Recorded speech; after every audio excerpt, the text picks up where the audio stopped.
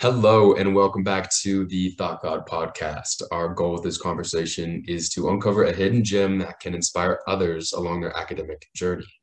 Our guest today is Eddie Lee.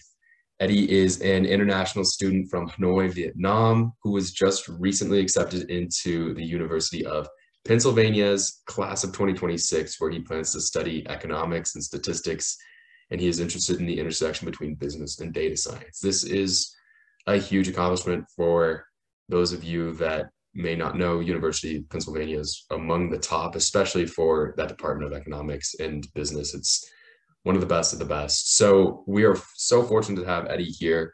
He's done a lot in his time coming up to college, and we're going to be talking a lot about that.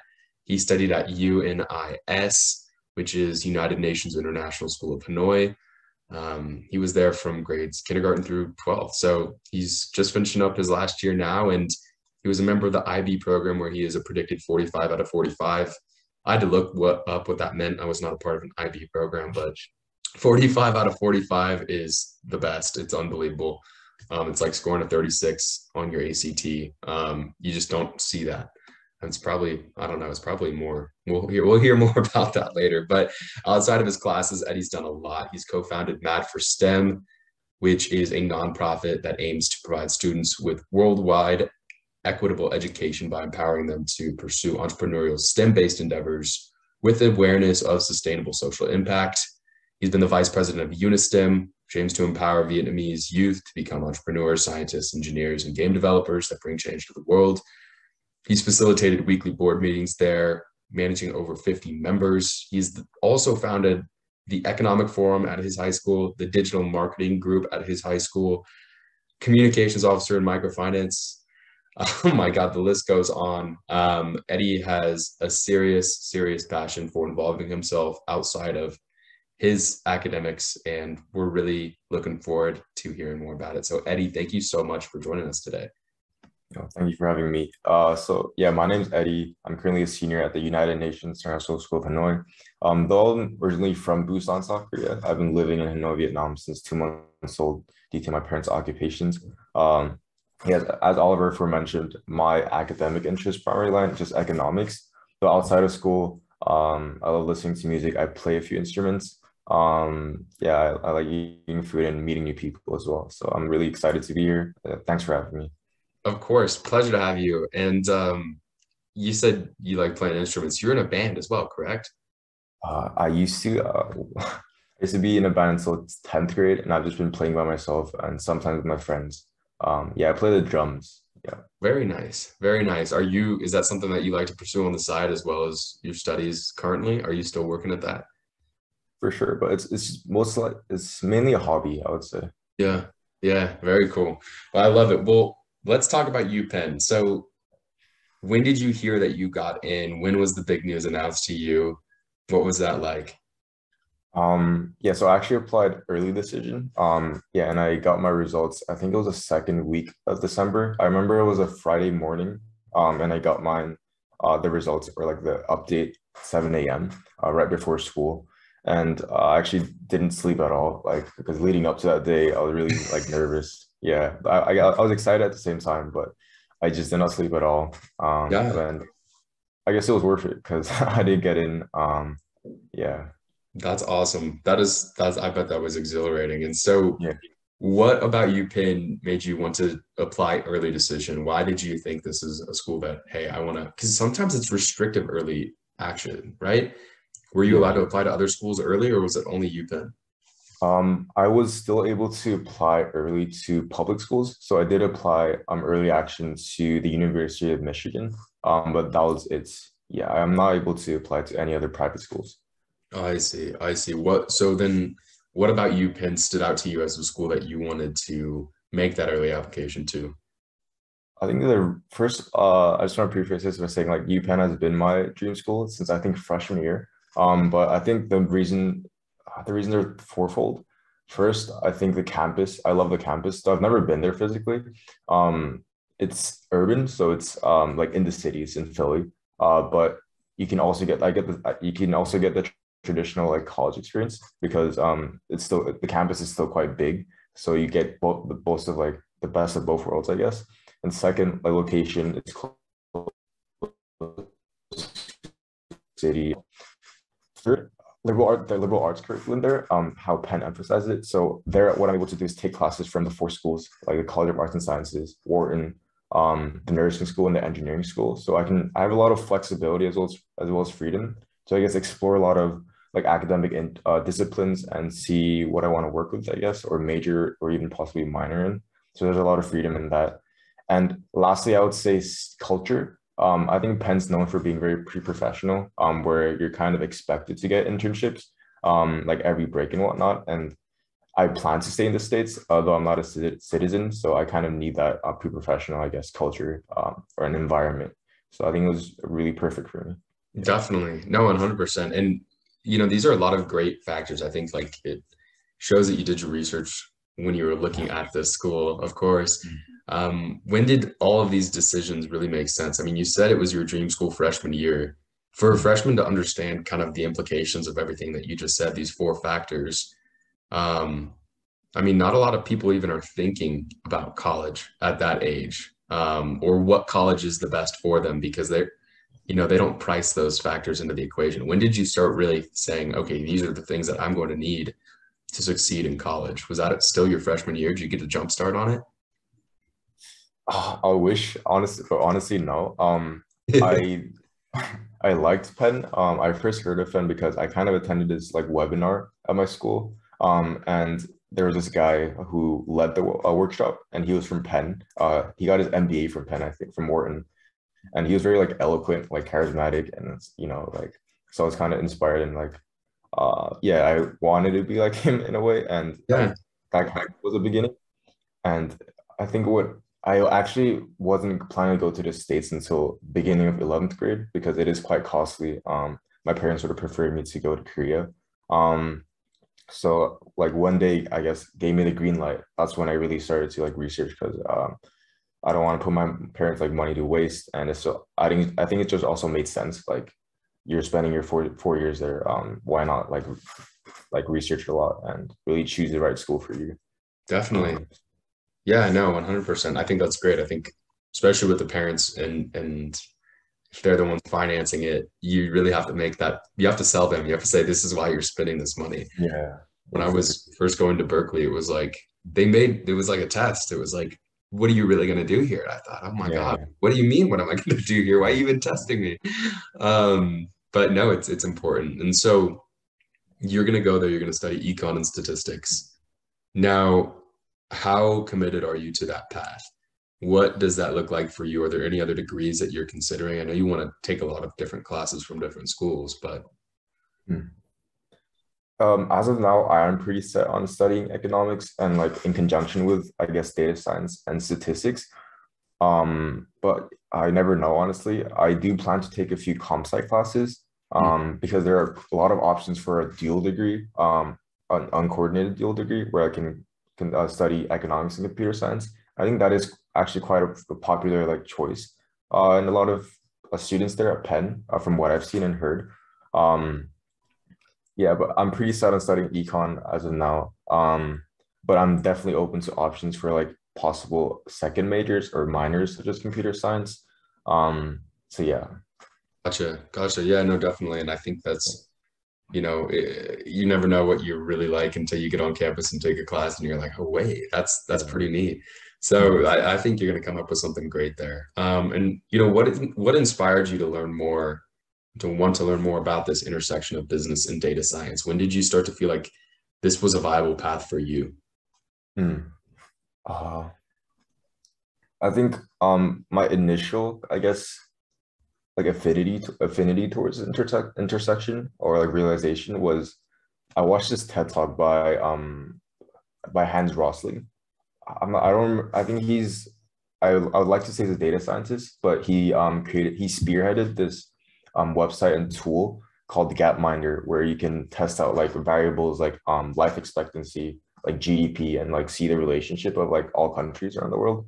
Um and he also had a Dollar Street where um, you, you have the like GDP per capita around the world. So like a family who earns like seven dollars per month, like on this on the far end, and then who earns a lot on this end, and you you're able to see the conditions where they live in and whatnot, and that kind of aspect of I guess business where the human element where you're able to see where they live, like the conditions, and um, the numbers where you can see like the relationship between certain variables and whatnot.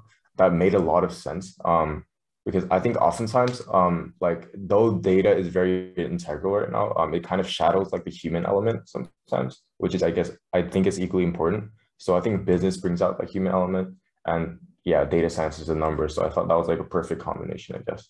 Yeah, no, I think that's really cool. I think that's, I mean, there's there's a lot to explore there. Um, so much to explore there. You're gonna have a lot of fun studying that, and uh, I'm I'm excited to see how the path progresses. I really am, and you know, to see how you engage in in the mm-hmm. campus and everything like that. I think you're gonna do you're gonna do wonderful. You're gonna love it. So let's talk about your pre-college program.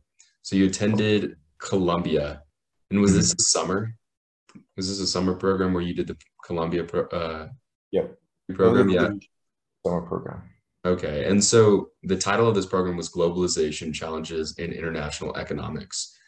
So engaged and delved into the intersection of economics and politics through relevant case studies, and you learned and examined the interplay between globalizing pressures and national interests. So, what year of high school did you do this during the summer? Going into what year? this, was, this was last year, 2021. So, um, like the, the summer break leading up to my uh, senior year. So it was quite late. Um, yeah, but I decided on the program. But first, to be honest, I didn't have that many options. I think I applied like May or like April, which is quite late. Um, I think a lot of the more well-known summer programs like LaunchX and like Yale Young Global Scholars, like the results already came out by then. Um, but I chose it because my interest uh, at the time was really like in development, uh, like developmental economics, which is I guess like a brewer combination of politics and economics. Mm-hmm. Um, and I actually did a lot of um, I do take a politics a class for in the IB program. Um, I I um, also wrote a politics based essay um, for one of the competitions that I uh, participated in. So I did have a interest in politics, and um, I thought this was a perfect course uh, to I guess learn more about this kind of inextric inextricable relationship between politics and economics. And yeah, and also I was uh, doing uh, conducting my trying to conduct my own research. I did uh, publish a research paper that I independently like wrote, and that was kind of about um, that was also like a mix of politics and economics, where I was looking into how did the gentrification of South Koreans um, affects like Vietnam and its economic like economy as well as its growth and development in the long term. Um, so that was also very helpful. Like the course was very helpful towards that um, paper as well, writing that paper. Definitely. Well, I want to touch more on that paper um, because I think that's super interesting. That's a, that's a part of the world that I could definitely learn more about. Cool. Um, what did you end up finding from that paper? What were your results and, and kind of what was the synopsis in a 3000 foot view? Um, so yeah, uh, I had to consult a lot of data in regards to like demographic trends, um, like the current account, like the exports and imports, like the really the I guess the bilateral relationship between South Korea and Vietnam specifically. Um, and I looked into metrics such as like foreign direct investment um, and other metrics um, I think what I learned about uh, learned through my uh, like a synopsis is the kind of double-edged nature of this kind of emphasis on just sheer economic growth, which is what Vietnam has been kind of doing. They've grown a lot. Um, I think that's just un- like um, undisputed. Like that's just a fact. But like behind that growth is kind of like be behind that graph, What happens is then Vietnam has been sacrificing like sovereignty, and that um, the presence of a lot of these South Koreans as well as like huge multinational corporations such as Samsung means that you lose self-sufficiency um, mm. in the long term and I guess control as well. So I would look that in, in I guess the long-term lens and kind of evaluated that um, yeah in my paper. Very cool. That's really interesting. Is there a way that people could read that paper if they wanted to learn more about it?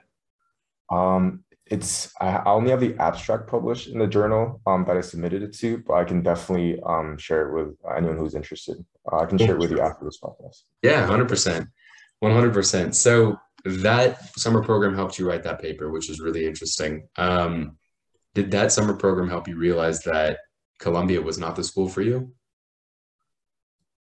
Um, or did you still apply to Columbia?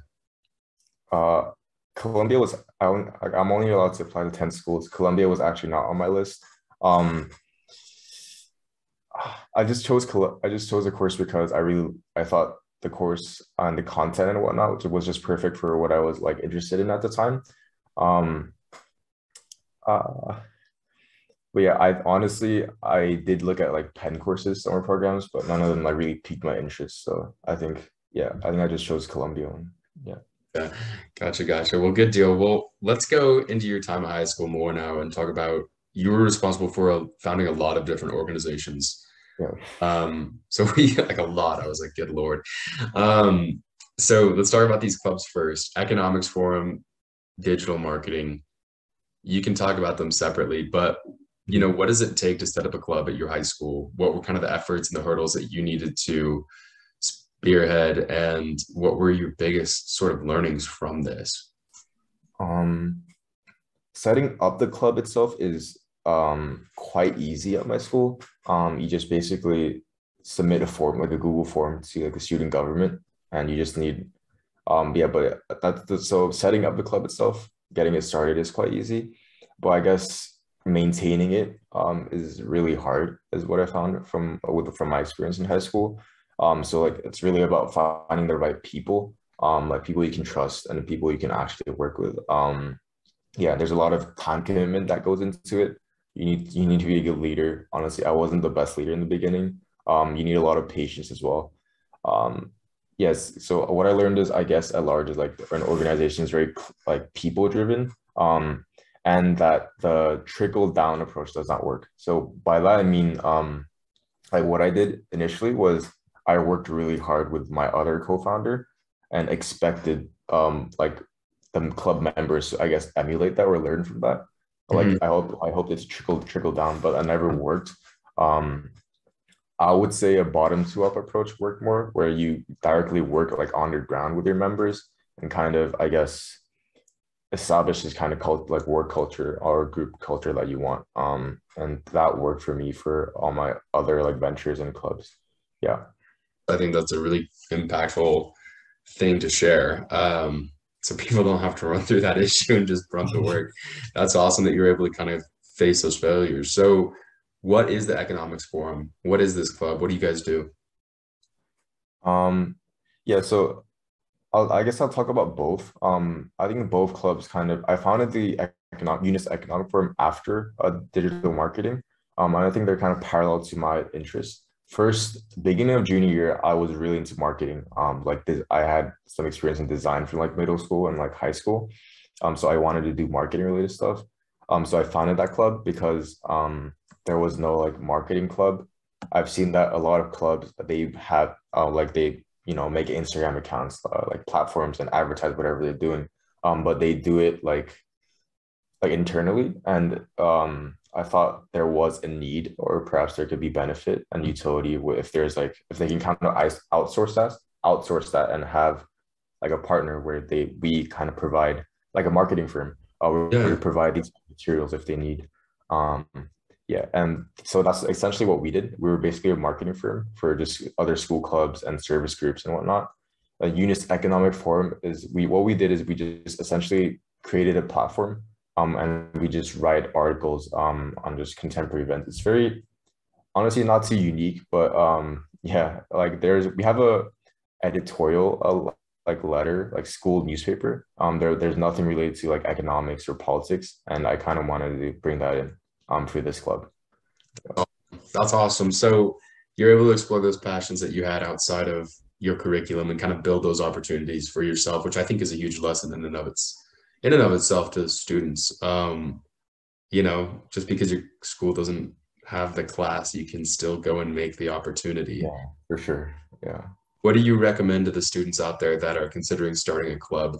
Obviously, this ground up approach is one, but what are some other insights that you think you can share for people that are really looking to dive into something they're passionate about? Um, yeah, I think for I think most importantly, like passion is important um, to be honest, my passion for marketing did die off, and I think the club kind of died off towards the end. If I'm being honest, um, which is always like obviously my fault, but yeah, I think the passion really needs to be there first. Um, well, for second, um, like going back to the kind of balance between like the human element and numbers, what I learned from Unistem, which evolved into um like Mad for STEM, is you should never emph- uh, like uh emphasize or underscore like just club member numbers. Like um my school is pretty small. I think we have 80 people per grade. And Unistem, we had like around 50 plus members. So we were the biggest school club, but it was very dysfunctional. Like we had no like club, like group identity. Um, mm-hmm. It wasn't functioning well. Like their attendances were like very like sporadic. Um, yeah, so that's because we just wanted to, we just wanted more members. We thought that meant success, uh, but yeah. that's not true. Like what's really important is functionality, uh, like cohesivity, like group identity and whatnot, and transparency as well and that's yeah so in the end we decided to like cut off a whole branch like and that actually really helped us so it's it's not about numbers it's really about i guess it's not just about numbers is what i want to say yeah. no 100% i have a, such a similar experience when i was in high school um, oh. I became well, i started freshman year somebody had recruited me to this club mm-hmm. and it was a service club so you'd give back you do volunteer you know opportunities and fundraising etc and when i joined i think there were four kids in there total mm-hmm. and so not a lot of people and then i ended up becoming president because all the people above me were uh, graduating so mm-hmm. i think mm-hmm. as a sophomore i became a president and i ended up growing the club to you know upwards of 100 kids which is just around a fourth of the school and wow but I, I didn't do it from the sense of like hey let's get behind what we're doing i was like we offer free pizza and we get a missed class time to do these service events. like that was a motivating factor. Oh. And you could kind of tell like people didn't take it serious during meetings. Attendance, like you said, sporadic during meetings. Yeah. Um, I think that's a great lesson. I think your takeaway there is huge. It's it's really about the identity, what you're trying to accomplish, and it's not so much about the numbers. It's about the yeah. about the, you know what you can achieve. So um, I love that. I think that's super relatable to me as well. So tell us about Mad for STEM because this is the next this is the next spot here.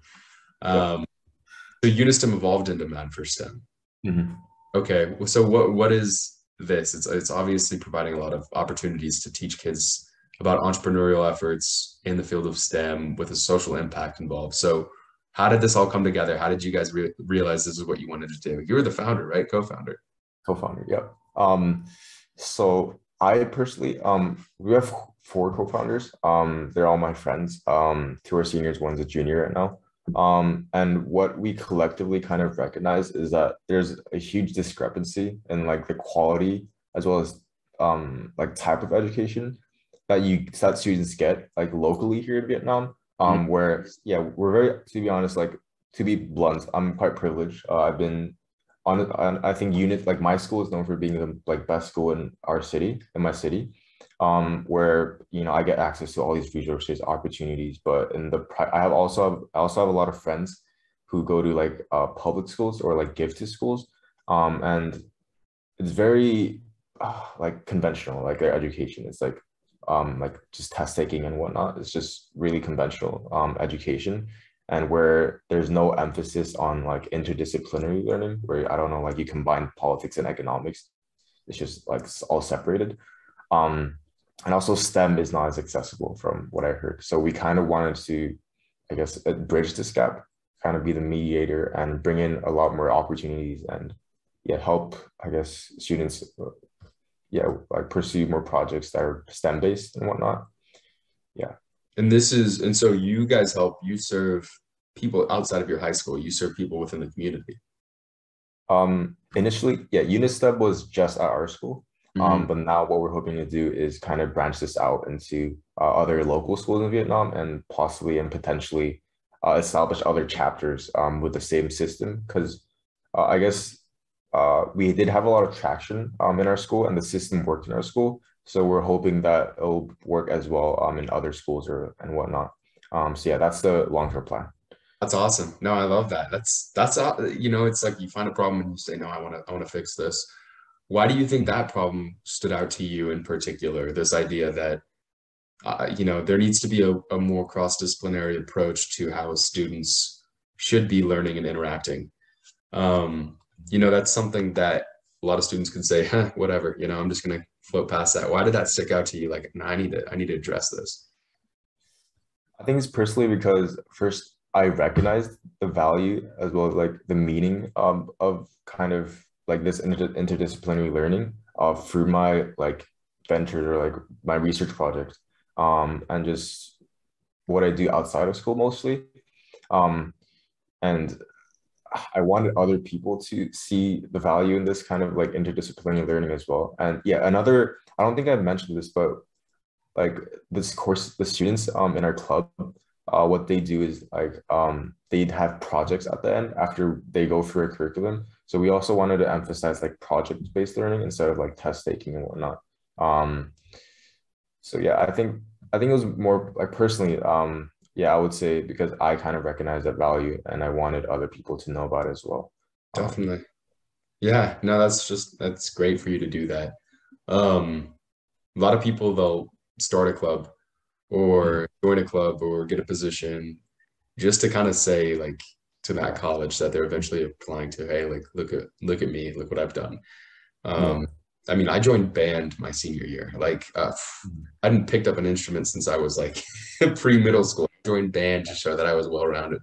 So I'm oh. I'm no better than anybody. But for you to do this, um, and for you to dig into something that you found impactful for yourself, you know, a type of learning that you were, like you said, you wrote an independent research paper on the intersection of politics and economics. Like for you to share that type of thinking with others and to see that traction, I, that just must feel so rewarding. That's awesome for you.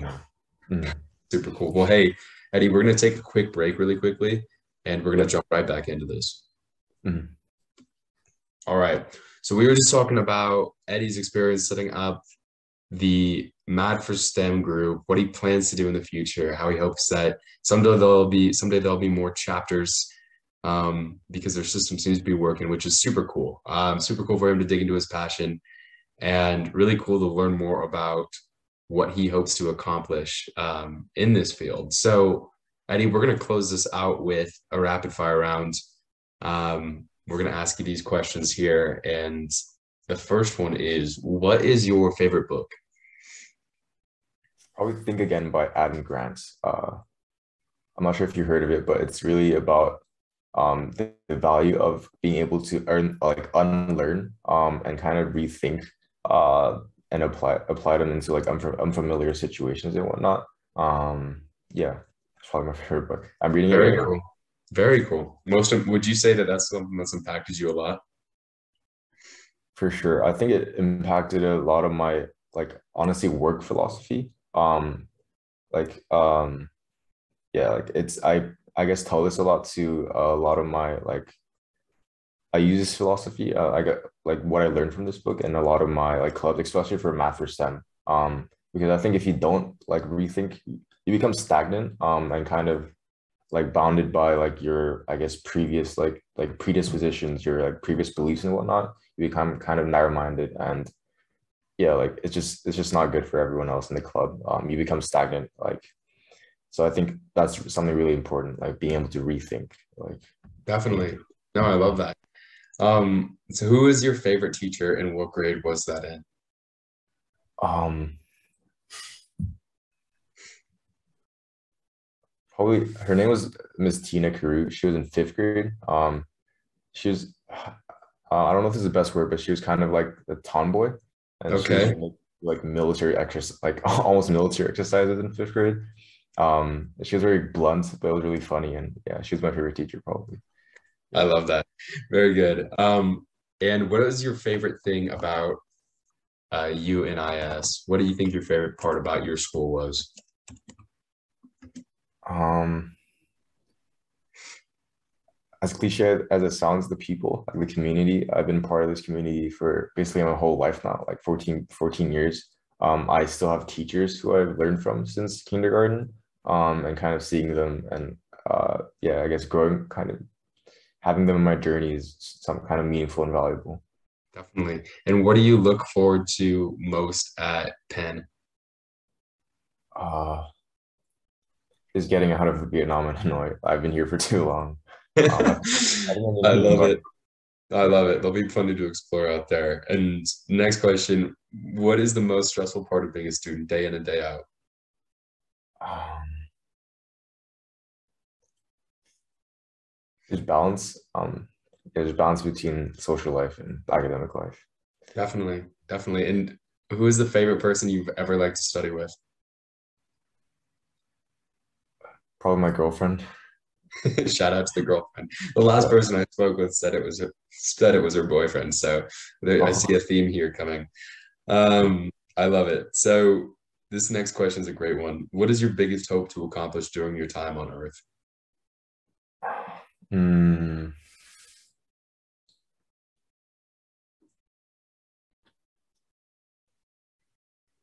I don't know if this is a great answer, but I just want to spend a lot of time like with my family. Um, yeah, I think I think that's family is really important to me.